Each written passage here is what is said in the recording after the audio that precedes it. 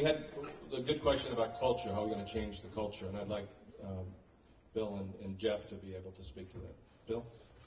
Thanks, John. so, obviously, you know, I think Kim asked the question, how many? It's very difficult to know how many. We know we know that we're hearing reports of horses dropping in the barn, not even dropping in the ring, dropping in the barn, being dropped in the barn as a result of, of intravenous injections of things such as magnesium and things like that. So, you know, we're, we're making an effort to try to get more information from people, and as John said, going to an to uh, implementing some investigative uh, procedures to go down this road. But we also have to think about what are we doing in our sport? How are we defining winning? Is winning at all costs? Is winning at all costs and forget the welfare of the horse? John brought up the fact that there is um, legislation coming through Congress related to the racing industry.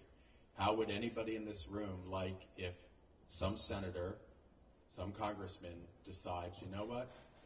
I heard about this and I don't think this is right, and we need federal legislation saying that no medications can be administered to any horses in any competition, whether it's show horses, race horses, etc.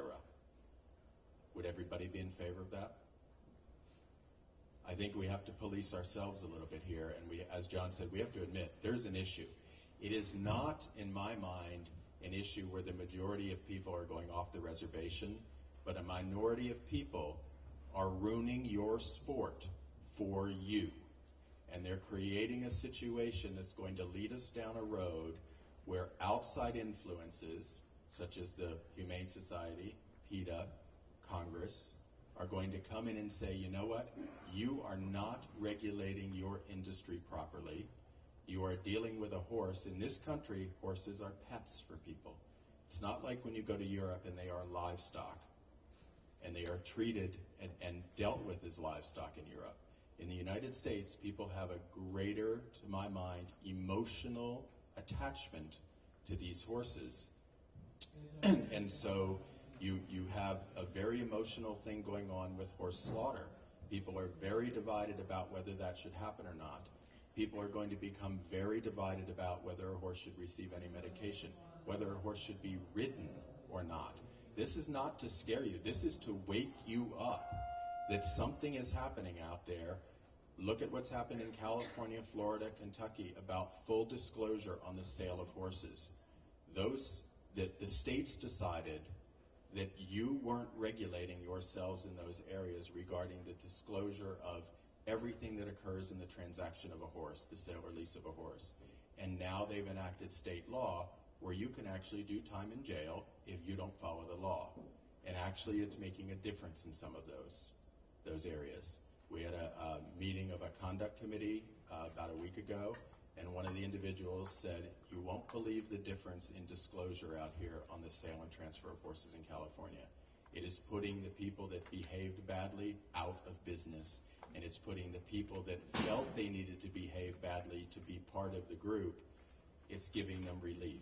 Just what John said, we heard from some young professionals you know what, just do something that puts it on a fair and level playing field so I don't feel compelled or driven in order to stay in business to have to go off the reservation and give my horse medications that I know aren't good for him and I don't really want to, but the culture of the sport is requiring me to do that. So we have to we have to look at something to turn this around or we're going to end up if we continue to say no, not a problem, not a problem. Oh, guess what? Last year only two horses died. You know, we we're going to be in trouble. It's, it's on the national map now. The New York Times article did not do anybody any favors other than it's making this discussion finally occur on a national level that needed to occur for a long time. Geoff? So I don't want to say a lot because we're talking a lot, but um, I have plenty to do. Uh, but obviously, this is a whole big issue in our culture right now, and so I signed on to do this. I'm not quite sure why I did, but here I am. Um, it's really important. I would say that uh, the most important thing right now for us to understand is that the scene is actually changing out there. There is a, you know, it is a big deal. nothing is going to be the same. We have a very different future ahead of us. And we, uh, as I guess leaders of this sport, we need to uh, first admit that, as John said, and then we have to start to change the way we do things and how we do things and whatever, whether it's getting different horses, changing the judging system, whatever. But we need to adapt to the new scene. Because the one thing that we don't want to do is have somebody else regulate our sport. Right? Uh, third thing that I think is really, a second thing that I think is really important is uh, the more I'm around these guys, the vets and the leaders of the USEF, the more I am learning and understanding that there is science behind what they're telling us, and uh, like, for instance, this AAEP paper that is on the table that we have here. That is a really interesting paper, and I urge you guys to read it because it will make a significant difference in how you look at things. Right? Uh, third major point to me is we are actually hurting our horses. We are actually killing our horses. Uh, Kim, it's happening a lot more than we care to admit, but it is happening out there. I'm alarmed at how many deaths there are in a year at the horse show. And I think that we're also hurting our sport. Somebody sent me the other day an article from Europe that had to do with, uh, they were talking to dealers in Europe, please don't sell your horses to America because all they do is drug them, jump them, work them until they fall over dead, and then they come back and buy more horses. That's alarming that we're getting to the European market.